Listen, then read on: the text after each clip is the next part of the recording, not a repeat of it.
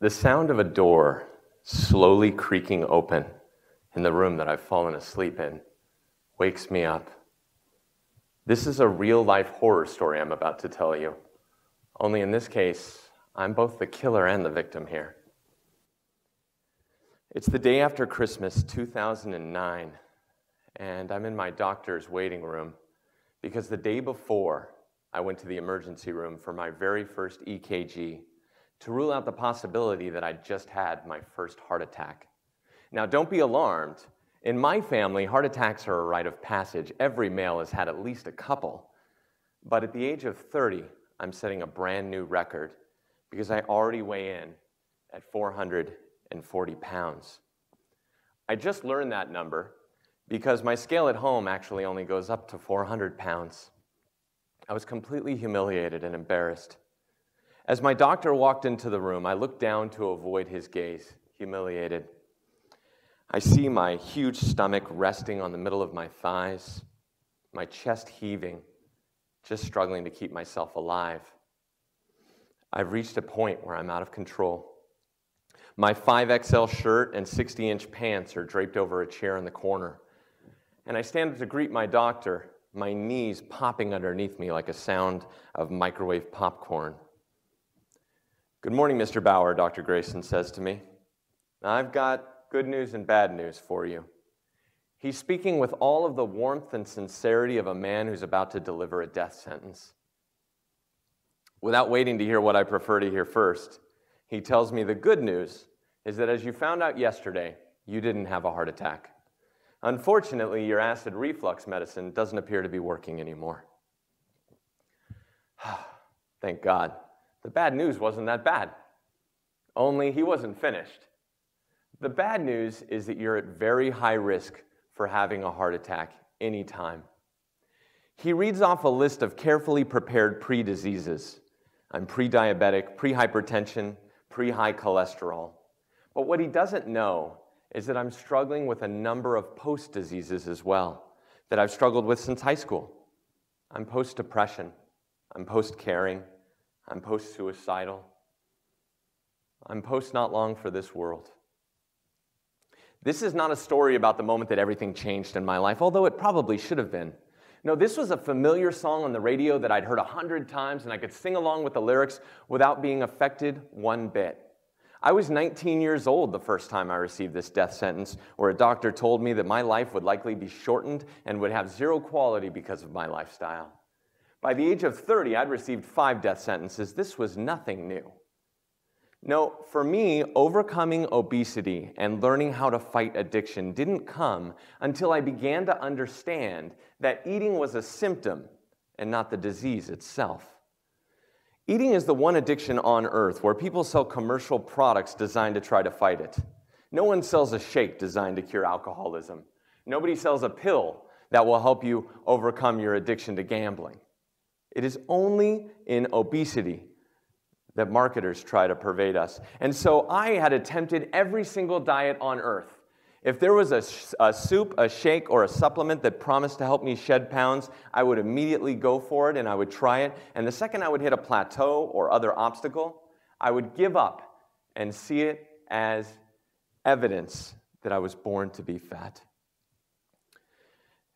For me, a diet was like taking an aspirin because my finger was caught in a mousetrap.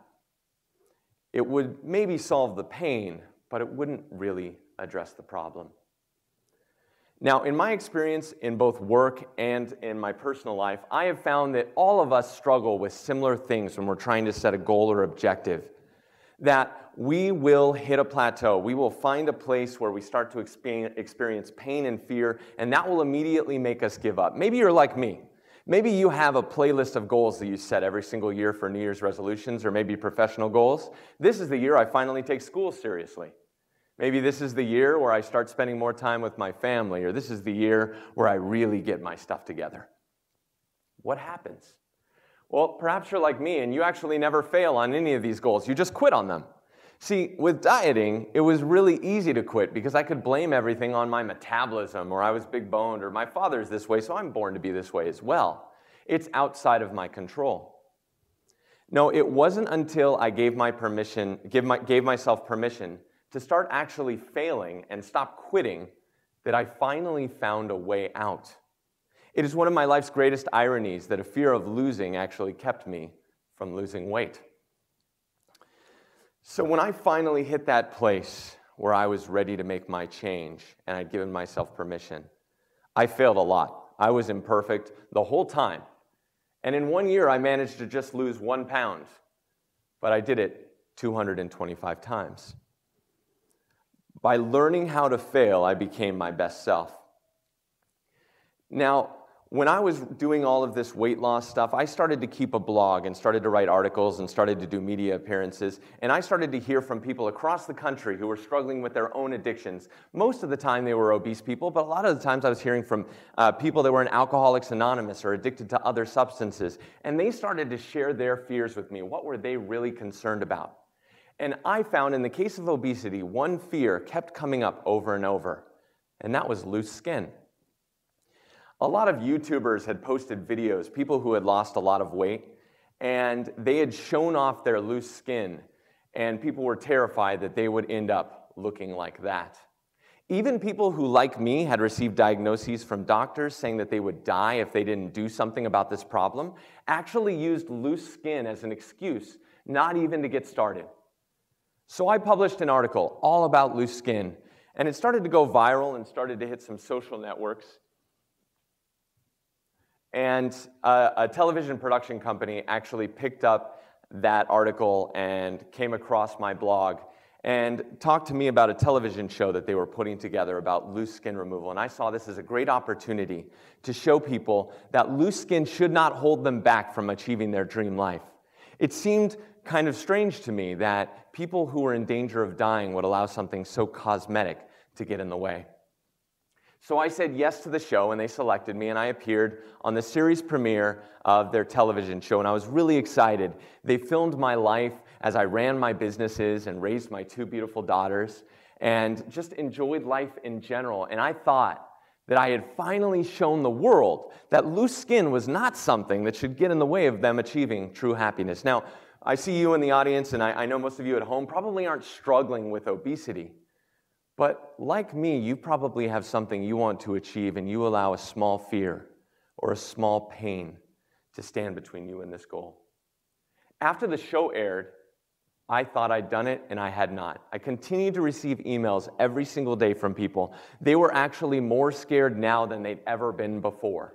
They thought there was no way that they could become their best selves, and so why even bother starting? I realized that I had stumbled onto a psychological problem here, and I started to do a lot of research and try to figure out what was really happening. Why was fear so pervasive in our culture, and why does it prevent us from becoming our best selves? And I found a growing body of research that showed us that we were born to be pessimistic. We were born to be negative. So let me give you an example. Imagine you're an ancient caveman for a second, and you're hunting a rabbit, when out of the corner of your eyes, you see a rustling in the bushes and you realize that there's a predator there. It's a tiger. What do you do? Do you continue to hunt the rabbit? Of course not. Surely there will be more rabbits somewhere along the lines, but one tiger, well, that's going to change your day. And so we learned anciently to overestimate threats and to undervalue opportunities. Anciently, that kept us alive. But in modern times, it keeps us from living. I've learned three ways that I've been able to break through my fears and my pain and be able to reach the other side so that I could achieve what I really wanted to accomplish. The first I learned from a playwright and ancient Stoic by the name of Seneca. Seneca was extremely wealthy for a philosopher, which doesn't happen today. As a philosophy major, I can tell you that the only thing that studying philosophy earns you today is student debt. But Seneca, he had this massive amount of wealth. And one of his friends wrote to him one day and said, How do you do it? How do you manage to stay normal and not be so terrified of your wealth? Seneca advised him that he had a practice. Once a month, he would dress up as a vagrant. He would wear the most tattered of clothes, and he would go out into the streets and he would eat nothing but stale bread and old food. And he would live as a homeless person for a few days. And after a few days had passed, he would look around at his surroundings, this terrible life that he was forced to endure, and he would ask one question Is this what I so feared? Is this what I was so afraid of? Now, this practice had a few great advantages for Seneca. First of all, it helped him see that it really wasn't that bad. By embracing the worst case scenario, he found out that the worst case scenario wasn't actually something to be afraid of at all. Second, it actually showed him that he had a lot to be grateful for. Things that maybe he was taking for granted no longer felt that bad. And thirdly, it showed him that the fears that he embraced were standing between him and his great objectives. The second thing that I learned really stems from this as well, and that is how great fear is in our lives. Now, if you think about the last time that you were truly afraid, what happens to your body when you become afraid? Your heart starts to beat, your palms start to sweat, you feel adrenaline racing through you, and you become hyper focused. Now, I have a confession today. There are two things in this world that I'm deathly afraid of. One of them, I believe, should be eradicated from the earth, but that's not my TED talk, and I'd be talking about possums. The second thing is heights. Now, for me, anytime I'm close to the edge of a mountain or a building, uh, if I'm presenting on the 40th floor of a building, I can actually feel it swaying, and I am completely terrified. So when I go on a roller coaster, and I still go on roller coasters even though I'm afraid of heights, I find that the experience is actually better for me than it is for anyone else in the car because I'm the only one there that is 100% convinced that we are going to die. And it makes it better. It makes it more fun. If you allow your fear and your pain to create inside of you a hyper focus, you will find that you have an advantage compared to every single other individual in the room. Use your fear, use your pain and you will find that you'll be better for it. The third thing that I've learned to bust through fear and come out on the other side is called voluntary suffering. Now, don't be alarmed, I'm not a masochist, but I have learned that if we build a certain amount of voluntary suffering into our lives, other things aren't so bad. In the example of exercise, we go to the gym and we suffer through that hour every single morning or every single night, and we have less involuntary suffering. Our knees no longer sound like a bag of microwave popcorn. Our stomach no longer gets in the way of those who love us wanting to hold us. Everything becomes better if we embrace this involuntary suffering, or voluntary suffering. Or to put it in the words of Tim Ferriss, Tim Ferriss once said, The more voluntary suffering we build into our lives, the less involuntary suffering affects our lives. Now, when I think of the word voluntary suffering, I think of my junior high school English teacher, Miss McGordy Riggs. Now, Miss McGordy Riggs was this southern belle with this beautiful head of brown curly hair and a smile as big as the personality behind it. I hated English class, but it was impossible to hate her. From a very young age, I was a math kid. In fourth grade, my teacher actually left out an algebra book, and I stole it and became completely obsessed with learning algebra. By junior high, I was going to the high school for math, and in high school, I was going to the college, and I actually set the curve on my calculus midterms as a freshman in high school. Everyone expected me to be good at math. I was already 300 pounds and I had huge glasses, so it kind of went with the territory. But Miss McGordy Riggs was the first English teacher who refused to accept the fact that I was a math kid. She continued to push on me, telling me that if I could learn calculus, I could surely learn how to write a sentence. An immovable object had met an unstoppable force. And I knew that the only way I could get her to stop bothering me was to learn how to do this English thing once and for all. I approached it just like I would approach mathematics. In learning sentence structure, I compared it to learning how to do proofs in trigonometry and calculus. I learned vocabulary the same way I learned other math formulas and math subjects, and I just applied the same way. But writing eluded me for months until she finally gave me an assignment I could really sink my teeth into a Valentine's Day love letter. Now, I was in this class for the only reason a teenage boy does anything in the world for a girl. And I realized this was my chance. If I could learn to write her a love letter, she could be mine. And so I poured my heart into that assignment more than I'd ever poured my heart into anything in the world. And that love letter earned me an A. But more importantly, It started a love affair that's continued to this very day. No, I didn't get the girl, but I did learn to love writing. Now, here's what's so funny about this I didn't even love math. I just did it because I was good at it and because it was easy for me. So I focused on that one subject. It is one of the worst things in our world that we allow opportunity to be overshadowed by fear and pain. If she had not challenged me and I had not learned to write, I don't know where I would be today. What today are you afraid of achieving? What today is being held back from you? I know that naturally we are inclined to feel pain everywhere. If you think about it, if I had a hammer, there's nowhere I could not cause pain on a body. But pleasure is felt in only a few places. Your body is genetically predisposed. One negative news story stays with us for weeks, and yet positive things vanish the second anything bad happens to us. Particularly those among us who are high performers will ruminate on our mistakes until we can't think about anything else and development goes completely out the window. Now, in dieting, I can tell you that that is a habit that is unlike any other. When you're learning how to play the piano, if you make a mistake, you continue on. You give your, yourself permission to make mistakes. No one makes one mistake on a piano and walks away and says, I'm never doing this again. But we do that with dieting all the time. We do that with saving money. We do that with our professional and personal lives every minute of the day. We live in an unprecedented time of negativity.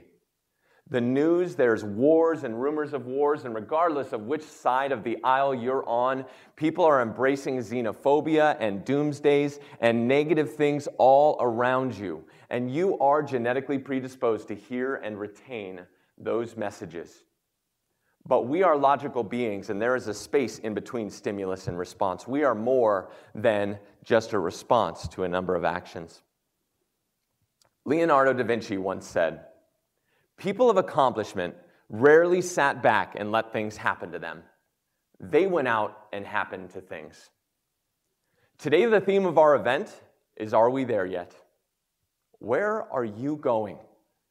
And what fears are holding you back from getting there? Are you so afraid of the pain in the future that you are allowing yourself to feel more significant pain in the present? Fear is a sign, but it does not have to be a stop sign. If we are going to go out there, we must learn to reject our genetic predisposition to pessimism. We've long ago forgotten loincloths and cave riding, and it's time to let this one go through as well. Embrace your fears. Face them in a place where you're not scared. Find that fear and allow it to focus your efforts and embrace voluntary suffering. And you will find the courage and strength, like Leonardo da Vinci, to go out and happen to things. Thank you.